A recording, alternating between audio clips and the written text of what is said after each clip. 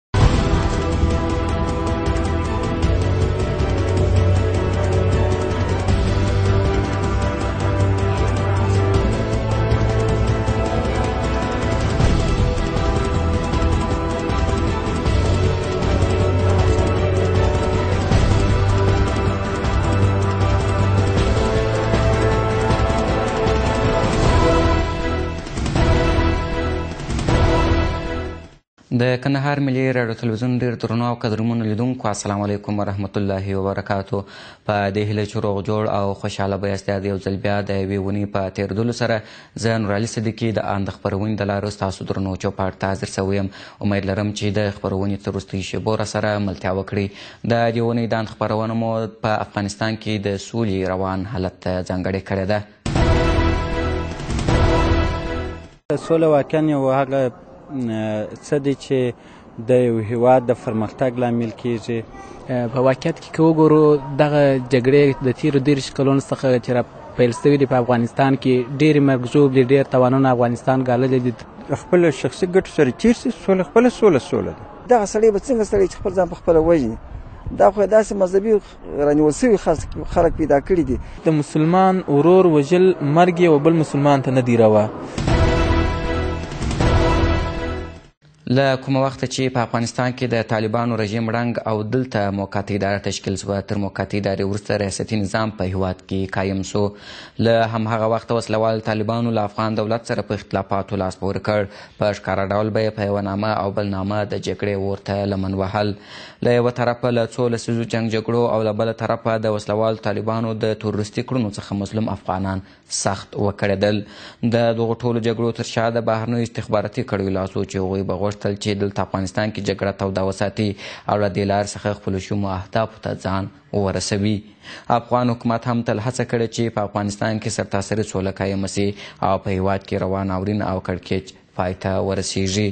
له افغان حکومت سره جوخت نړيوالو هم تل د افغانستان د سولې په راوستلو کې له افغان حکومت سره يو ځای مرسته کړې چې د سولې پروسه قوي او وسلوال مخالفين د سولې خبرو ته کښېنوي.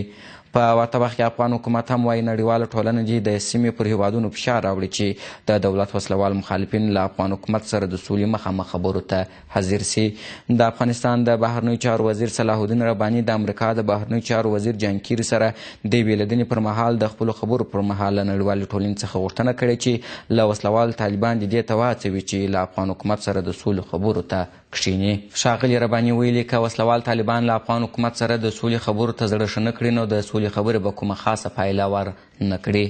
دغه راز د امریکا د بهرنیو چارو وزیر جان کیري هم ویلي، چې د سفر موخه یې افغانستان ته د دغه هېواد لپاره د سولې د راوستلو لپاره لار پیدا کول دي. بلخوا د دولت وسله وال مخالفین هم نه غواړي، چې له افغان دولت سره دې د سولې مخامخ خبرو ته کښېني افغان دولت تل هڅه کړې چې د دولت د وسله وال مخالفینو سره د سولې خبرې وکړي، خو هغوی د خپلو بهرنیو بادارانو په اشاره دې ته زړه نه ښه کوي چې له افغان دولت سره د سولو خبرو ته کښېني. وسله وال طالبان هم په څو ډلو وېشل شوي او د هغوی ترمنځ د چوکۍ پر سر اختلافات هم اوج ته رسېدلي او وسله وال مخالفینو ته منسوبه د ملا ذاکر ډله غواړي چې له افغان دولت سره د سولې خبرې وکړي، خو د هغه سیاله ډله بیا په افغانستان کې خپلو جګړو او ورانکاره کړنو ته دوام ورکوي، هغوی نه غواړي چې له افغان حکومت سره سوله وکړي او خپل ورانکاره فعالیتونو ته یې لا هم چټکتیا ورکړې ده چې ښه بېلګه یې په دا وروستیو کې په مرکز کابل کې د ښوونې او روزنې وزارت پر بس موټر چاودنه او ورسره سم په ننګرهار ښار کې د یو ځانمرګ برید و چې پکښې یو شمېر زموږ هېوادوالو ته مرګ ژوبله واوښتل. د کندهار اوسېدونکي د وسلوال مخالفینو د دغه ډول کړنې په کلکه غندي او په دې آند دي چې د افغانستان ګاونډیان په خاص ډول پاکستان نه غواړي چې د افغان دولت او د دولت د وسلوالو مخالفینو ترمنځ د سولې خبرې وسي او افغانان دې د امن او سولې په فضا کې ژوند وکړي. هغوی د خپلو خبرو پر مهال له کندهار ملي راډیو تلویزیون سره په خبرو کې په جګړه کې له ښکیلو غاړو څخه غوښتنه وکړه چې نور دې د چوکۍ پر سر اختلافات پرېږدي او د سولې له پروسې سره دې یو ځای سي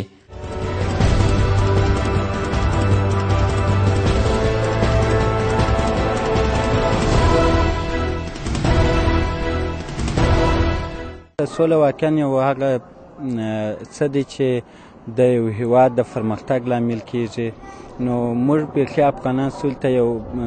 سوله ورته یو حیاتي شی دی ځکه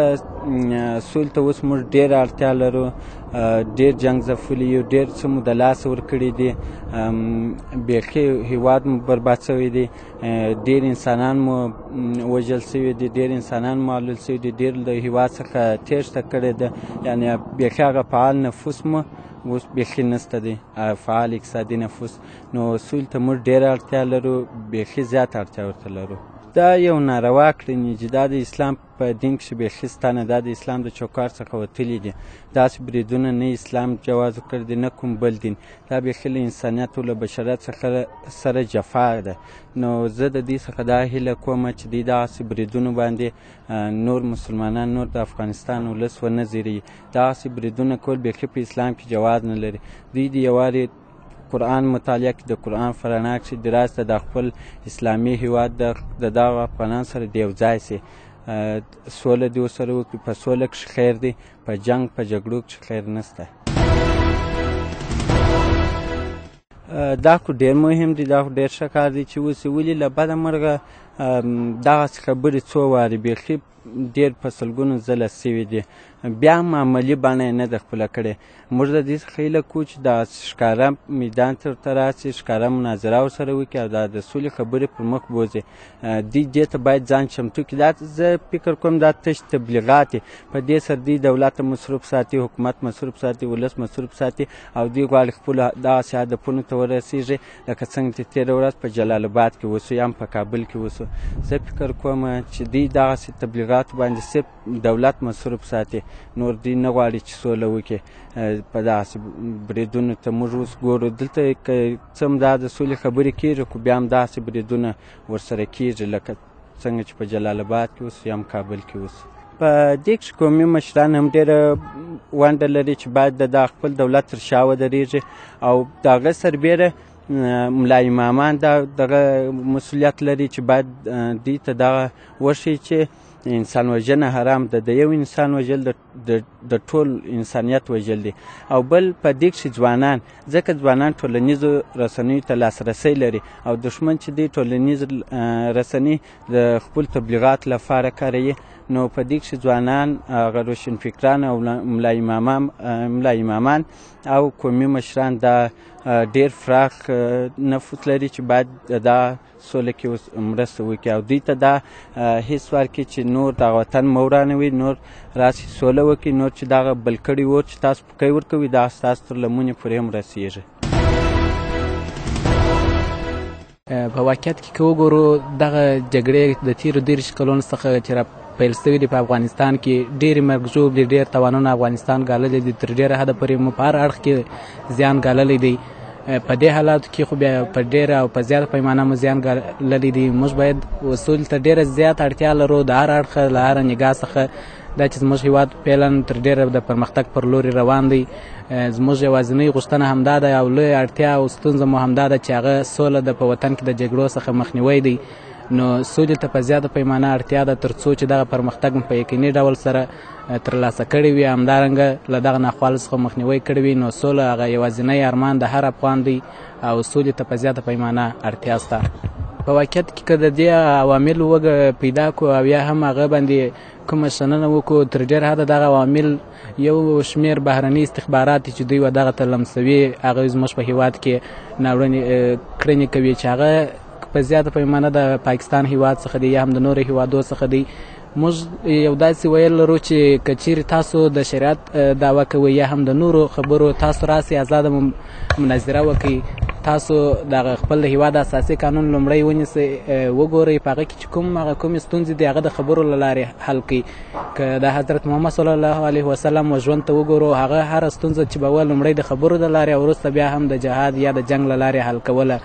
تاسو ته خو اوس در ډېره حده زمینه برابره ده افغان حکومت په څو ځلې تاسو سره د خبرو هڅه کړې ده تاسو راسي خبرې ورسره وکړئ که په هغه خبرو کې تاسو خپلې لاسته راوړنې ونه درلودې یا هم هغه خپل مشکلات مو حل نه کړل وروسته تاسو کولی سئ چې هغه خپل دلیل هم رامنځته کړئ او ووایاست چې موږ جګړه روا ده یا هم جګړې ته باید ولاړ شو او دا چې اوس تاسو ته د خبرو وړاندیزونه په څو ځلې سوي دي بیا هم تاسو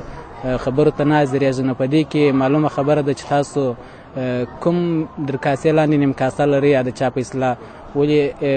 بیا هم موږ ټول افغانان د دوی څخه یوازینی خواهش همدا دی چې تاسو باید خبرو ته کښېنئ او خبرو ته راستئ د خبرو میز ته د خبرو له لارې خپل مشکلات حل کړئ او خپلې مبارزې ته دوام ورکړئ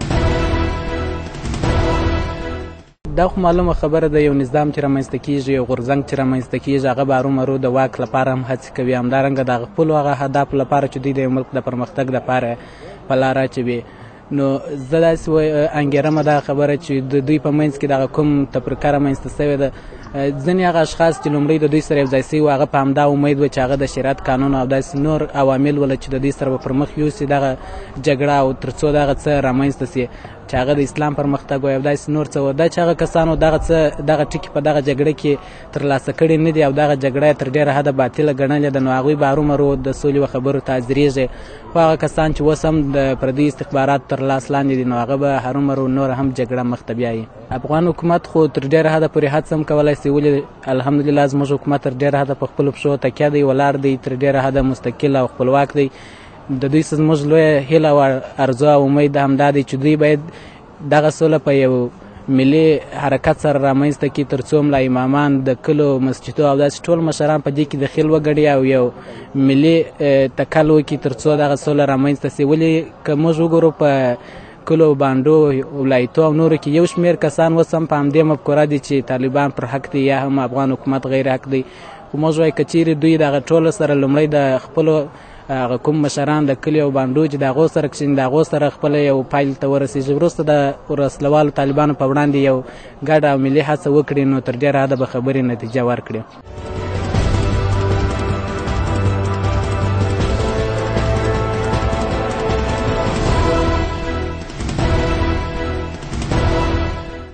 بېګناه هېوادوال دغه کېږي خوږېږي دا خو عموما د جنګ په مابین کې عموما دی دغه خوږېږي چې دوه طرفه په دغه کې سره خامخا بېګناه خلک خوږېږي دا خو معلومه خبر ده او ځکه چې دا سوله په هغه وخت کې د دې راځي چې دی یو در بل در ګټي خپل شخصي ګټو سره چیرسي سوله خپل سوله سوله ده چې سوله ما ما بین سره راولي دي او که د شخصي ګټو تیر نه شي سره سوله نه راځي هغه داسې دی چې باید د ملا صاحبان چې د جامعې مشران د قومي مشران د قبیلو مشران دی کولای شي چې شاوخوا آزاد دي هر ځای ته ولاړ شي هغو خلکو ته ووایي دې خلکو ته ووایي یو در بل ربط عامت سره وکړي خود به خود انشاءالله سوله راځي ما به سوله خو ډېر یو خوږه کلمه ده او د خدای او د خدای د رسول او د خدای د مخلوق تر ټولو خوښ ده مګر دا چې اوس په افغانستان کې بدبختانه بدبختانه که په داخل کې د دولت وګورو که د دولت څخه د باندې وګورو داسې کړي سته چې هغه په سوله نه دي خوشحاله درواغ وایي ظاهرا د سولې نارې ووهو مګر واقعا هغه خلک چې هغه واکه په لاس کې دی هغه نه غواړي چې په اصلي ډول د سول مابین تر سول خپل ځان شرایط لري باید هر طرف څخه دغه هغه مثبتې خواوې ومنل سي نو بیا د سولې امکان شته او بل اړخ یې دا دی چې په موږ کې د پردیو لاسونه دي تاګه د پردیو لاسونه چې موږ دغه ته نه پرېږدي چې موږ د سولې سره یو ځای سو او سوله زموږ په نصیب سي نو دغه ټول هغه عوامل دي چې موږ د سولې څخه لرې کړي او موږ ملت ټول دغسې دی چې بیخي سولې ته لکه هغه د روژې روژه مات داسې ورته تېرېږي دي خو بدبختانه بدبختانه نه غواړي هغه د سول نارې چې وي هغه هم نه غواړي سوله نو موږ داسې خاص امید پیله نه لرو امید خو خدای جل جلاله ته لرو او بل خبر دا ده چې د هر منازعې د هر جنگ د هر ناخوالي پای سوله ده چې سوله نه هیڅ چی نه کیږي نو خدای پاک څخه غواړو چې سوله ما بین تراسي ممکن دوی ستراتیژیکي ګټې لري په شاوخوا کې د ممالکو هغه غواړي خپل ځان دوغو د پاره یو لار پیدا کړي نو دا خو داس یو په دې کې یو مبهم شی سره وجود لري چې هغه څوک په سرحد باندې نس ویل حتی از مستس چارواکي هغه ټر چارواکي نس ویل شپږیږي به خښه پیږي مګر د خپل یا پر ځان باندې بیرېدو یا د ملت د تباه کېدو په خاطر باندې هغه شیان نسي افشا کولی نو دغه سببونه دي چې دا سوله د شاته تلونکې دا د اسلام له نظره مطلق ناروا د افغانیت له نظر ناروا د انسانیت له نظر ناروا مګر بدبختانه پر موږ باندې تپل سوی ده دغه خلک چې دغه کارونه کوي دغه سړی به څنګه سړی چې خپل ځان په خپله وژني دا خو داسې مذهبي رانیول سوي خلک پیدا کړي دي چې خلک دغه ته هڅوي چې د خپل د خواږه ژوند تیر سي په دې کې نه اخروي ګټه سته نه دنیوي ګټه سته خلک فقط فقط خلک خطا ایستلي دي او د پردو څه وایم د پردو د خواست پر مړ باندې یو تحمیل سوی کار دی د تعالی جل جلاله دې موږ دغه بد حالت څخه خلاص کړي دا دوه اړخ دي یو اړخ د پسکنده چې وای ایران دی یو جناح چې دی هغه حمایه کوي دغه د روزین لاندې بل اړخ پاکستان دی دوی نه غواړي چې د افغان قطب دي سره ځای سره په ګډه دي د اصول مابین ته راولي نو دغه علي علت موږ به بل خواته وګورو اوس د حزب اسلامي او هیئات د کابل ته راغلي دي زه په مطلق ډول درته وایم چې شمال خو نه غواړي چې دلته دا خلک دغه ځای ته راځي دا هغه د په خوا څخه دغه تضاد موجود دی موجود دی موجود دی لا تر اوسه پورې او د مرتشبینو کې د مطبوعات لارو د رسنۍ لارو اورو چې تر اوسه پورې دغه هیئت نه د اجرایي رئیس سره نه د رئیس جمهور سره ملاقات کړي فقط فقط شاوخوا دوی دوی کې د دغه لپاره چې مازې یو خلک په خطا بس ارز خو موږ دا غوښتنه ده چې د خدای په لحاظ د قران په لحاظ د دغه بیوزو در بدرو یتیمانو کونډیانو په لحاظ دغه بدبختی پرې چا د پاره کوي څوک وژني ځانونه وژني یا هیڅوک خارجي نه دلته نه وژل کیږي دلته وژل کیږي افغان وژل کیږي دلته چې در بدر کیږي یتیم او بیچاره او مظلوم د اسلام سپکاوی راځي د قران سپکاوی راځي د شریعت سپکاوی راځي د امامانو د علماو سپکاوی پکې راغلي دا راځي نو موږ د ټولو خواو څخه دا غوښتنه ده چې د انسانیت په لحاظ د قرآن په لحاظ د اسلام په لحاظ دغه بدبختۍ څخه لاس واخلي او راس پر یو دغه سره کښېني هغه خپل مشکلات سره حل کړي او دغه واک په مساوي ډول په عادلانه ډول سره وویشي هغه څه چې د مقابل په خوا کې یو پوه خلک او اهل خلک یې هغه رامنځته شي خو بدبختانه زه چې فکر کوم د پردو لاسونه چې نه هاخوا پرېږدي نه داخوا پرېږدي باید وایم چې د افغانستان لپاره سوله څومره مهمه ده د افغانستان لپاره سوله ډیره مهمه ده په دې خاطر چې افغانستان کې سوله هیڅ وجودیت نه لري هغه دا چې افغانستان یو ډیر ضعیف مملکت دی په دې خاطر چې سوله نشته پکښې کې یو ورور و بل ورور ته زړه نه ښه کوي یو ورور په بل ورور باندې اعتماد نه لري په دې خاطر باندې د افغانستان لپاره سوله ډیره مهمه ده د افغانستان په نامنیو کې داخلي لاسونه نشته ټول خارجي لاسونه دي دا جنگ د افغانستان جنگ داخلي نه دی دا د پردو جنگ دی د پردو جنگ دی د پردو گیم دی افغانان پکښې کې وژل کیږي پکښې ځپل کیږي افغانان پکښې چوریږي هغه هغه کسان دې ته زړه نه ښه کوي چې هغه د پردو روزلي پردوی روزلي نه په دې باندې افغانستان ته په یوه کس سوله راځي هغه مرور رونه به پخلا کیږي د افغانستان ته به راځي دلته به په مرکز کې خبرې کیږي که چیرې د په مرکز کې خبره ونه سي د پردو پردي هیڅ نه غواړي چې په افغانستان کې سوله راسي نو د پردو سره چارڅونه خبرې کوي هغه بیا معنا دي موږ د سولې ناري و خو سوله مابینځ ته نه راولو نړیوال هم غواړي چې په افغانستان کې د سوله راسي خو سوله راولي نه بالکل دغه هڅې پر ځای دي د افغان حکومت د افغان حکومت دغه هڅې پر ځای دي خو کېدلای سي چې د افغان حکومت په دغو هڅو باندې سوله راسي چې دوی نړیوال راضي کړي که چیرې دوی هغه بهرنیان راضي کړي سوله راتللی سي سوله زما او ستا هغه د کم ناراض ورونو په لاس کې نه ده سوله سوله د هغو په لاس کې نه ده سوله هغه د بهرنیو په لاس کې ده چې بهرنیان راضي سول بس سوله راځي دا ټول ناحقه کړنې دي په دې خطر ناحقه کړنې دي چې د مسلمان ورور وژل مرګ یې و بل مسلمان ته نه دی روا که چیرې یو مسلمان بل مسلمان ملک دا بل مسلمان مرګ په عام محضر کې روا دی باید قتل سی نو دا چې دی په سوو باندې شیدانه یا یې مقصد د هغه څخه ژوند اخلي نو چیرې دا چې دی د یو کس هغه واخلي دی باید په عام محضر کې دی قتل سی نو چیرې چې دی په سوو باندې دا خو بالکل د اسلام نظر د مسلمان مرګ نه دی روا بالکل دا هر څوک په دې پوهیږي چې د اسلام کې د مسلمان مرګ قطعا ستنه او نه دا هیڅ چاته دا روایت لري چې یو مسلمان راولاړیږي بل مسلمان وژني د بل مسلمان د یو مسلمان ورور مرګ به بل مسلمان ورور ته په هیڅ صورت نه دی روا دا د اسلام د قانون د شریعت له نظره څخه دا په خلاف کړنه ده چې څوک یې کوي د سولې د راتګ غوښتنه مو دا ده چې باید که وسلوال ورونه یې که خوابدي ورونه یې هغه باید دغه سولې ته زړه ښه کړي ځکه چې افغانستان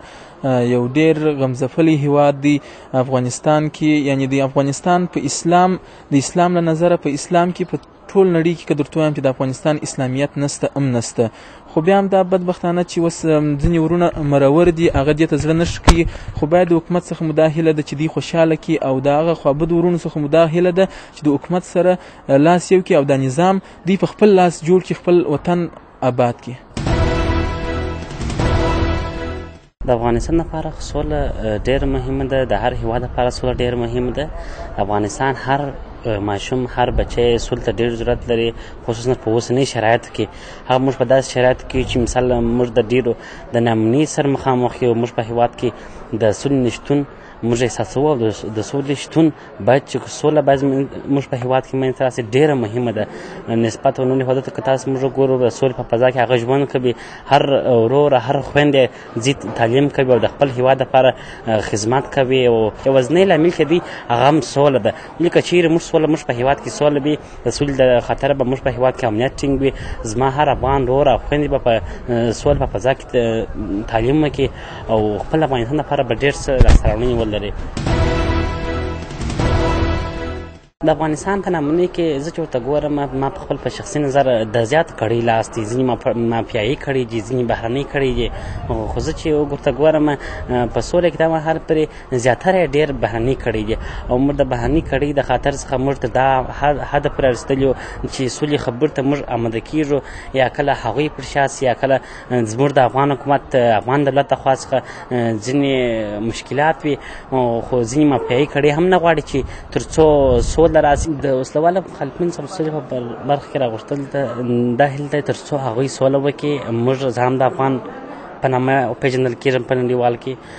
طالب یا کوم بل وسلوال ډله چې مثلا د افغانستان په خلاف باندې کوم دي چې فعالیت کوي هغه هم د افغان په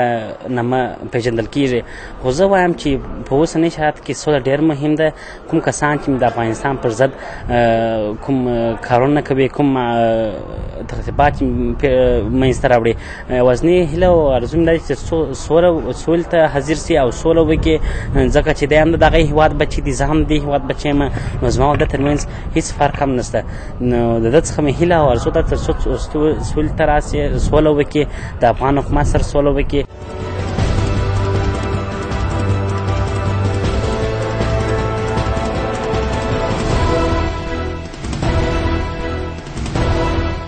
هغوی د خپلو خبرو پر مهال د افغانستان د سولې او په هېواد کې روانو ناخوالو ته د حل لارې د پیدا کولو په اړه کندهار ملي راډیو تلویزیون ته داسې ویل.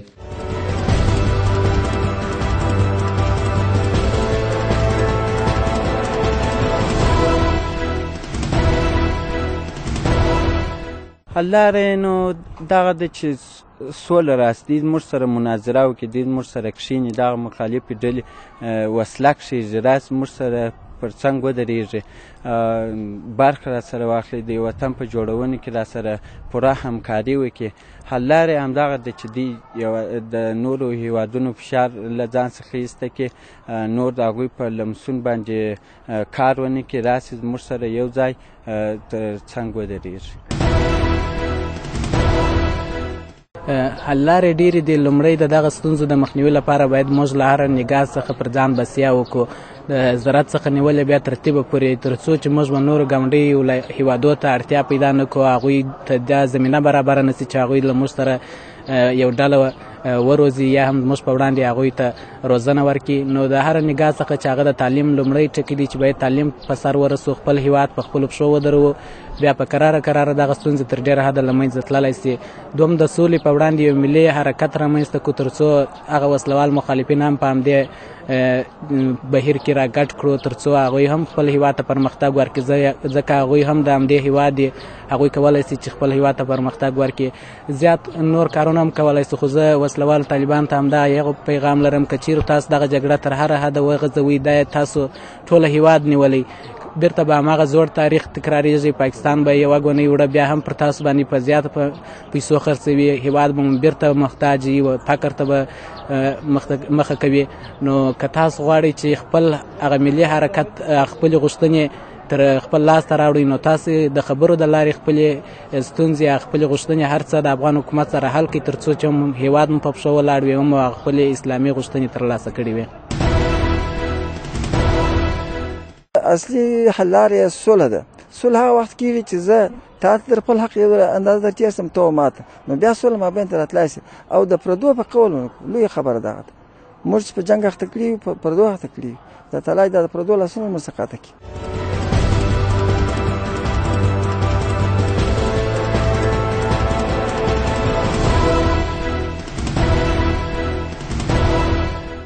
د کندهار ملي راډیو تلویزیون ډېر درنو او قدرمنو لیدونکو د دې ونې داند خپرونه مو پر همدې ځای پای ته رسېږي د ملتیا مننه کوم پاته وخت مو نیکمرغه